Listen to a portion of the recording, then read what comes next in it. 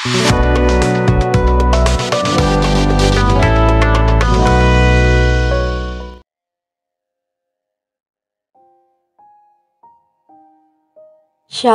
selamat pagi Bapak Ibu dan saudara-saudari yang dikasihi Tuhan.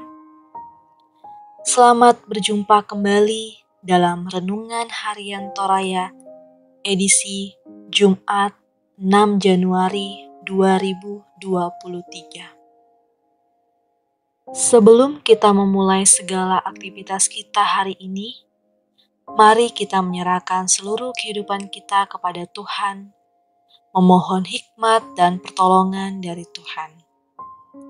Kita akan membaca dan merenungkan firman Tuhan. Mari kita satu dalam doa, kita berdoa. Tuhan Yesus, terima kasih untuk pagi yang indah ini Engkau masih mempercayakan nafas kehidupan serta kesehatan kepada kami semua. Kiranya dalam kehidupan kami hari ini, kami boleh melakukan hal-hal yang menyenangkan hati Tuhan.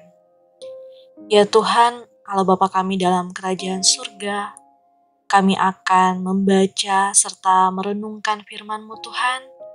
Mari kiranya Engkau menyertai kami, kami tahu kami sangat terbatas dan penuh dengan kekurangan. Kami mohon kepadamu Tuhan sehingga Engkau memberi pengertian kepada kami sehingga kami boleh mengerti firman yang akan kami dengar nanti. Berfirmanlah Tuhan karena sesungguhnya kami sudah siap mendengarkannya. Dalam nama Tuhan Yesus kami sudah berdoa. Haleluya. Amin. Firman Tuhan hari ini dari Mazmur pasal 72 ayat 12 sampai 19. Doa harapan untuk raja. Sebab ia akan melepaskan orang miskin yang berteriak minta tolong, orang yang tertindas dan orang yang tidak punya penolong ia akan sayang kepada orang lemah dan orang miskin. Ia akan menyelamatkan nyawa orang miskin. Ia akan menebus nyawa mereka dari penindasan dan kekerasan. Darah mereka mahal di matanya. Hiduplah ia, kiranya dipersembahkan kepadanya emas seba, kiranya ia didoakan senantiasa dan diberkati sepanjang hari. Biarlah tanaman gandum berlimpah-limpah di negeri, bergelombang di puncak pegunungan. Biarlah buahnya mekar bagaikan Libanon, bulir-bulirnya berkembang bagaikan rumput di bumi. Biarlah namanya tetap selama-lamanya. Kiranya namanya semakin dikenal selama ada matahari. Kiranya segala bangsa saling memberkati dengan namanya dan menyebut dia berbahagia. Terpujilah Tuhan Allah Israel yang melakukan perbuatan yang ajaib seorang diri.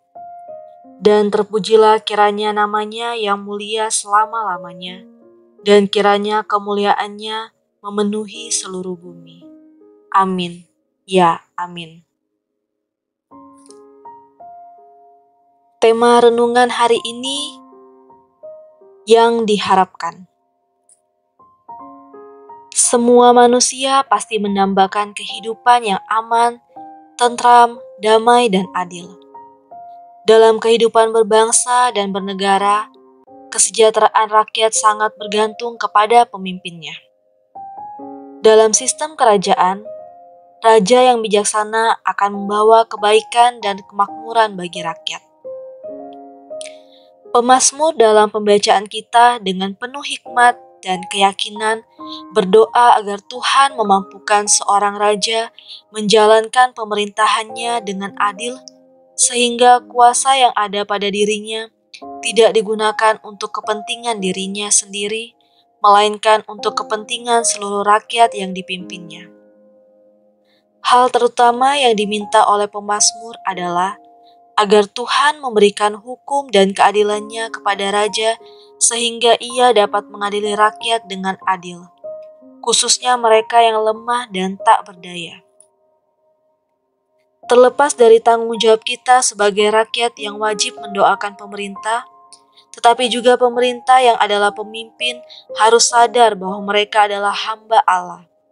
Dalam Roma 13 ayat 4. Yang ditetapkan untuk melakukan kebaikan.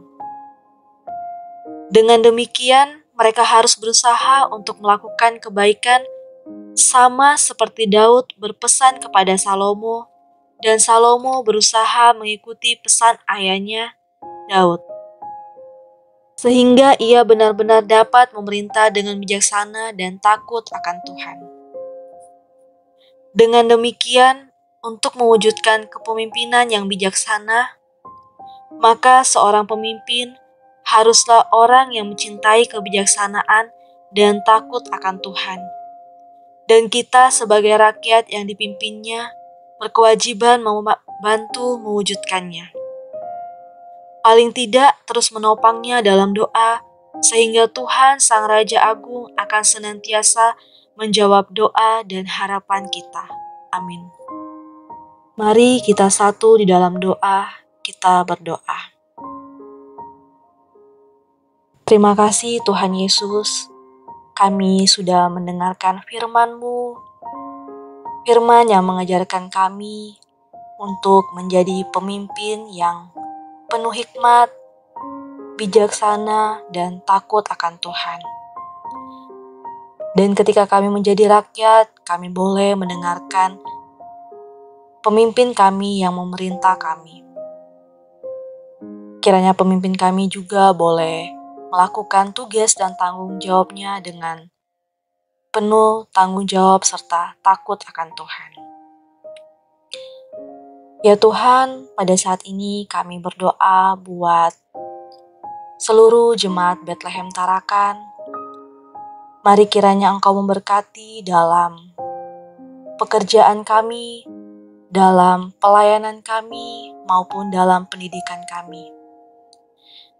Kiranya Tuhan Yesus menyertai kami dalam menjalani setiap tanggung jawab yang sudah Tuhan percayakan kepada kami semua.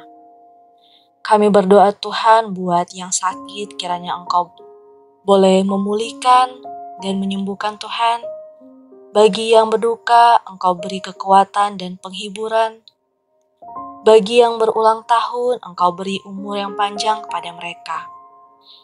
Dan bagi yang berbeban berat, Tuhan beri kelegaan kepada mereka. Mari kiranya Tuhan Yesus Engkau menyertai Bapak Pendeta beserta keluarganya dalam setiap pelayanan dan kehidupannya sehari-hari. Engkau berkati juga para majelis, para pengurus SMGT, PPGT, PWGT, dan PKB, serta jemaat semua Tuhan dalam mengemban tugas pelayanannya sehingga boleh melayani dengan penuh kasih, serta takut akan Tuhan. Ya Tuhan Allah Bapa kami dalam surga, kami menyerahkan kehidupan kami ke dalam tangan pengasihanmu Tuhan. Berkati kami dalam menjalani kehidupan kami hari ini. Dalam nama Tuhan Yesus kami sudah berdoa. Haleluya. Amin. Demikian renungan hari ini. Tuhan Yesus memberkati kita semua. Amin.